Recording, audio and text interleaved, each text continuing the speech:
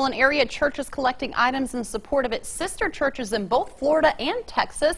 Life Church in Columbus is taking in donations for victims of both Hurricane Harvey and Hurricane Irma. The church also has locations in Fort Myers, Florida and Houston, Texas. They're collecting non-perishables, water, toilet paper, and cleaning supplies, as well as cash donations. The church has already collected over 6,000 pounds of water. Donations will be collected at the church's Columbus location tomorrow from 8 a.m. until 5 p.m a.m.